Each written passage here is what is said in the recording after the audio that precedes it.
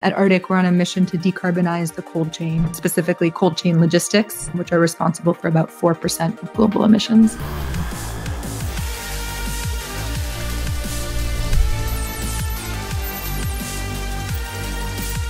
My background prior to this was in batteries. I started a company called EcoFlow. We made half a kilowatt hour net power stations. Hannah, welcome to HSN. Good to have you Thank here. Thank you. It's a pleasure to be here. River is portable, yep. only 11 pounds. I had known refrigerants were bad, but I hadn't really understood the full impact of refrigerants. I really started to see cold chain as this invisible backbone.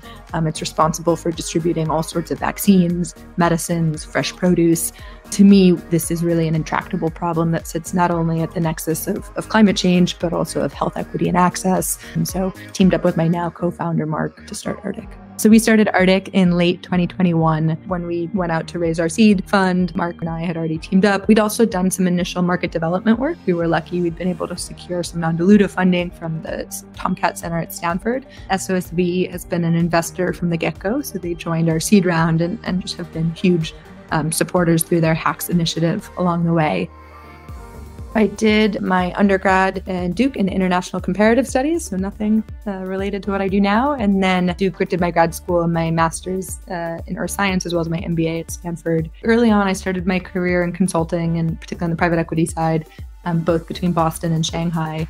Um, and I realized I really like to roll my sleeves up and dive into things, and I didn't like to be in kind of an advisory or consulting capacity as much. Um, and I was fortunate enough to have an opportunity to move to Shenzhen. And at the time, Shenzhen was kind of the hardware, um, you know, metropolis. 90% of the world's electronics are manufactured there. So kind of by living in Shenzhen, really fell into fell into tech and fell into hardware, and then ultimately um, teamed up with some great other entrepreneurs to start EcoFlow. I'd always been super entrepreneurial as a kid. I had started a couple of, of kind of side businesses. And so it was exciting to kind of take a shot at it in a, in a larger scale. The number one piece of advice I give to other folks interested in starting a company is just make sure it's something you're excited to work on, even in the bad days. Because, you know, entrepreneurship is not easy and, you know, it's never as high as you feel, but it's also never as low as you feel. But the low days are bad. Uh, and wanting, you know, that this is an issue you care about, that you're excited to get up and work on.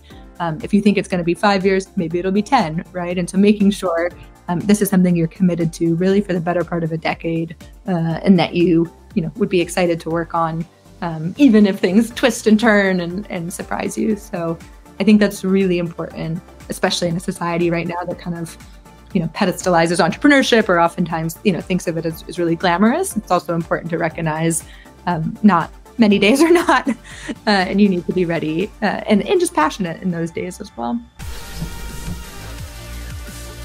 We're really excited for what's to come. I mean, this is just the beginning.